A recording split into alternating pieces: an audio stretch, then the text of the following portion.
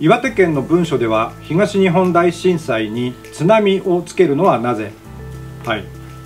東日本大震災は岩手県では津波による犠牲津波による被害がほとんどでした。